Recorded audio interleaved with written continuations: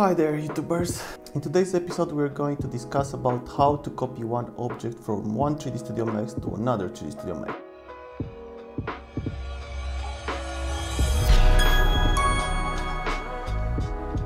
The normal way on how you can do it is you select an object, you go here, file, save selected, you go here, you put a name on it and you say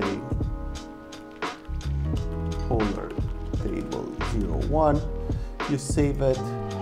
It's okay. Then you go to the next 3d studio max. You go import merge polar table 3d studio max and polar table 01 Here it's gonna pop up. Okay.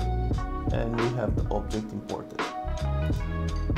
But there is also an easier way to do all of this using a script. I'm gonna select this and delete it uh, the script name is called copy and paste objects.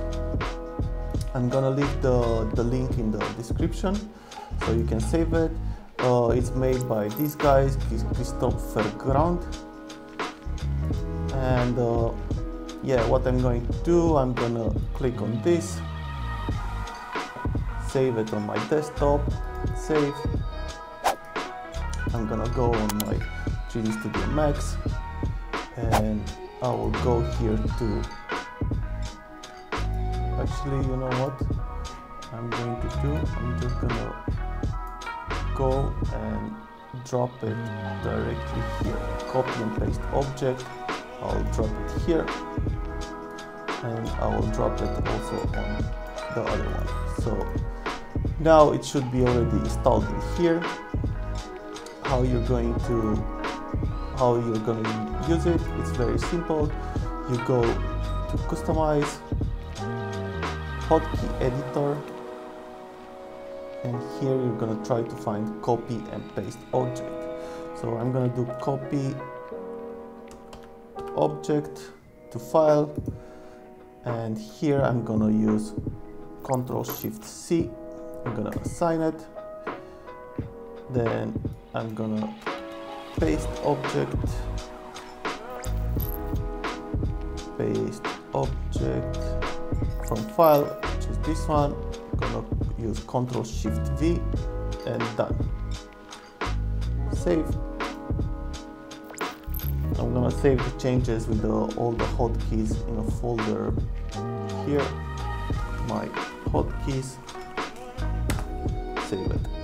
And now I'll go to my other 3D Studio Max and go here because this one it was open in the same time with, with the other one. This one doesn't have the hotkeys.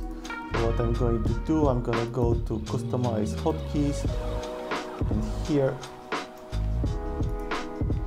I'm gonna click on my hotkeys and it should be done. I can also check for example I can say copy object Control Shift C.